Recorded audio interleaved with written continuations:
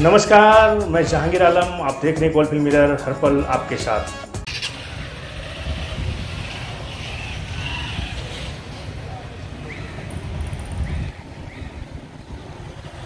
Patient का कल रात में एडमिट हुए थे वो मसूरा में, इधर दर्द गम में, और फीवर था तो उसके बाद वो एजेड पेशेंट थे तो उनका डेथ हो गया रात में।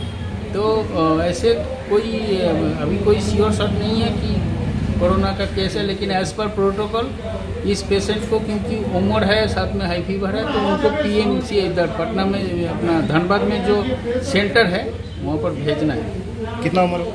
सेवेंटी प्लस है एज है। तो उनको भेजना है वहाँ पर भेजा गया अभी यहाँ से। तो वो प्रोटोकॉल में यही है कि जब तक वो उसको स्वाब टेस्ट होगा पॉजिटिव होगा या नेगेटिव होगा अगर पॉजिटिव होगा तो जितने हमारे यहाँ हेल्थ स्टाफ है सब क्वारंटाइन में रहेगा और वो वार्ड अभी अंडर लॉक एंड की रहेगा।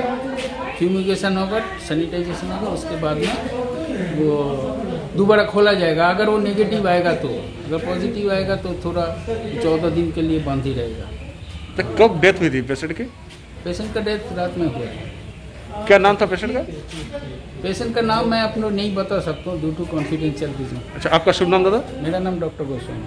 थैंक यू एक महिला कल रात में यहाँ पर एडमिट हुई थी दुलाल सोल सोल की है बालिका हेम्ब्रम वो वृद्ध महिला है सत्तर साल के आसपास उम्र है। उनको फीवर का शिकायत था। तो उनका यहाँ पर अर्ली मॉर्निंग का यहाँ हॉस्पिटल में देहांत हो गया है।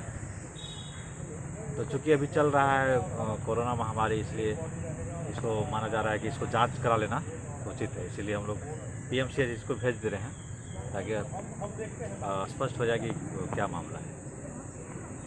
सर कहा जा रहा है डीवीसी हॉस्पिटल को सील किया गया है? जब तक रिपोर्ट आ जाएगा तभी अभी तो ऐसा सूचना नहीं है। वो रिपोर्ट आ जाएगा कि क्या था अभी तो सस्पेक्ट मान के चला जा रहा है।